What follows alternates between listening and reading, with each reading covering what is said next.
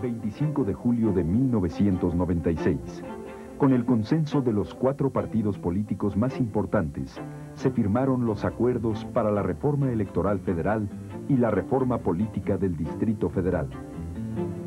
Unidos en la pluralidad, damos un paso esencial en la edificación de la democracia que los mexicanos queremos, de la democracia que los mexicanos necesitamos, de la democracia que los mexicanos merecemos.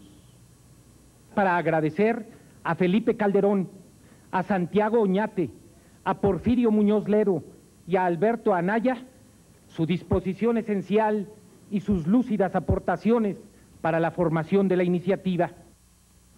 Hemos alcanzado este acuerdo la víspera misma de procesos electorales que serán definitivos para la vida del país y lo hemos hecho superando temores, recíprocas desconfianzas y profundas diferencias.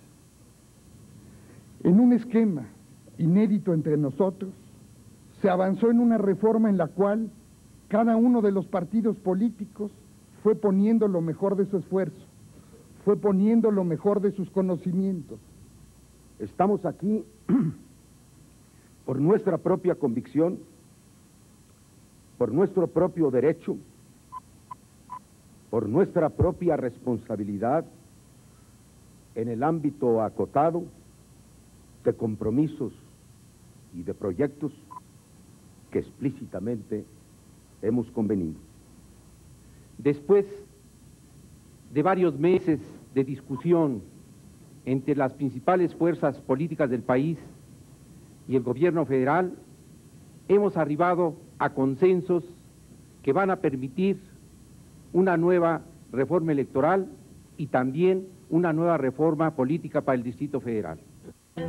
Reforma electoral, un avance en nuestro proceso democrático. Cámara Nacional de la Industria de Radio y Televisión.